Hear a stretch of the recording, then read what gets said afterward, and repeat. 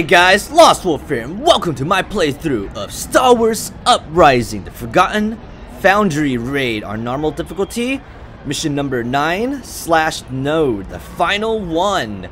Alright, without further ado, let's get started. Alright, so as you can see, we finished most of the map. We only have one left to do, and I'm pretty excited to try it out. So let's uh let's get right to it. Yeah. Alright, so this mission's called the Motherlode. It's on Burnin Konn, it'd be level 80 to access it, and the mission description reads, We have a problem. It looks like that Purge Trooper Squad wasn't lost after all, just trapped near Raw or Face itself. The pure chromium all around this area must have blocked their communications. If you want that ore, you'll have to take them out. Oh, and try not to get trapped yourself in a process. Ooh, I'll be sure not to.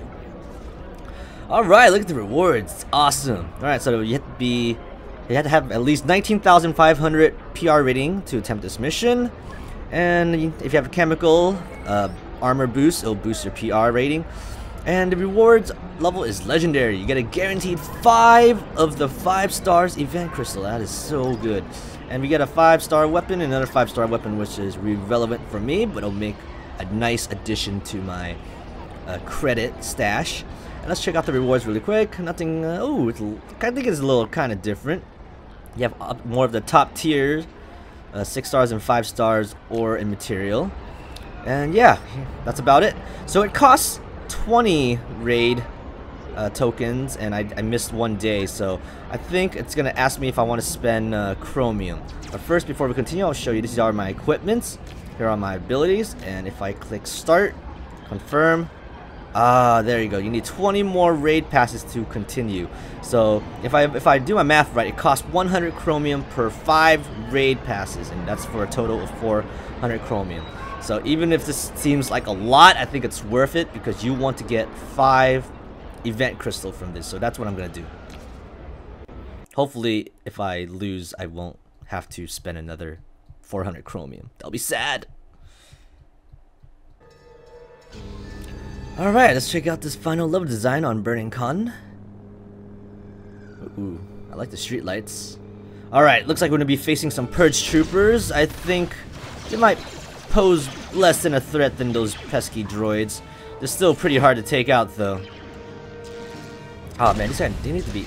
Okay. Oh, I just jumped right into the fire. Okay, my goal is to try to actually get them together so I can attack both of them at once. Otherwise, it's to take me forever. Oh my god. Yeah, you don't want to underestimate the fire. Those things really hurt if you stay in them too long. Especially the damage over time effects. Alright, lowers this thing. Look at those special effects in the background where this place is mining the chromiums. Oh, come on. I hate it when they run so far apart. It's like, what's the point? Come on, come on, come on. Get together, get together, get together. There you go. There you go. It's usually that, that Purge Trooper in the back. Oh, dodge those guys. Uh, run through the fire a little bit. Attack them from behind. Ooh, getting of smithereens. Come on. Oh, man. I ran out energy. Yeah, these guys are really tanky. That's Purge Trooper armor for you. Especially when you get your own Purge Trooper armor, they're like, their defense is like super high. No one that came out. They have low attack, but their defense is really high. Usually, it's weird. Usually in this game, uh, defense usually gives you a lot more PR than attack. So that's why the TIE Fighter armor has more attack, but also has lower PR compared to the Purge Trooper armor. I guess that's why I'm leveling up the Purge Trooper armor. Ooh, let me, hold on. I'm gonna take that. I'm gonna take that back to tank, just in case I'm gonna go up against a foe where it's gonna take all of my health, especially on normal difficulty. And this is only on normal difficulty too. I would hate to see what would happen on the higher uh, difficulties. Alright, so it looks like we're blocked off by a giant pap. That won't stop me though, because I happen to have a lightsaber which I can slash. I guess each time you tap on it, it, it does an animate attack animation, and it just blew in front of my face. No sound effects thought my lightsaber was stronger than that. Well, it was so strong that it blew up the pipe. I think that's pretty amazing. let's take care of that for a while. Alright, so I'll leave that back to tank there. And Ooh, it's a boss ahead. It's Imperial Commander. Let's see what you look like. Ooh, you're a female. Alright, so I'll jump behind you, and I'll blast you to smithereens. Uh, you should pose no threat, since you're wearing a Purge Trooper armor. It's a little bit hard to uh, attack you. I just auto-hit you. I don't know if that does a lot more damage. Maybe it does. Who knows? Oh my god, it hurts. Let's use that special ability. Boom, boom, boom. Oh my god. Okay, okay. No, I can do it. I can do it. There you go. Whew! That was close. I was debating whether I should go back to the the back the tank. Ooh, look at these chromium. They, I guess this is in their raw form. Look pretty cool. Alright, so let's go check out what's our rewards. Well, we already know what the guarantee rewards are. Let's see if we picked up anything good along the way. You got 6240 credits.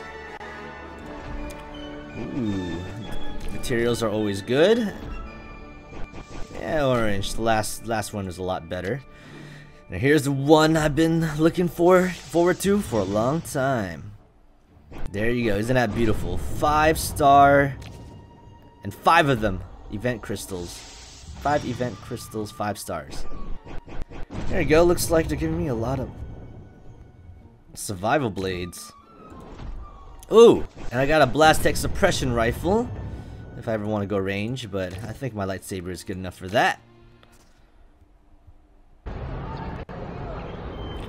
Alright, and there you have it, guys. I hope you guys enjoyed my whole run of the Forgotten Foundry on normal raid difficulty. I hope this helps you a lot, or if you guys don't plan on doing raids, I hope you enjoy this somewhat of a story-based uh, mission on the Forgotten Foundry normal raid. There's no other text other than the one I just showed you. And you can also repeat these again if you like to get more materials, but they cost uh, raid passes, so keep that in mind. Alright?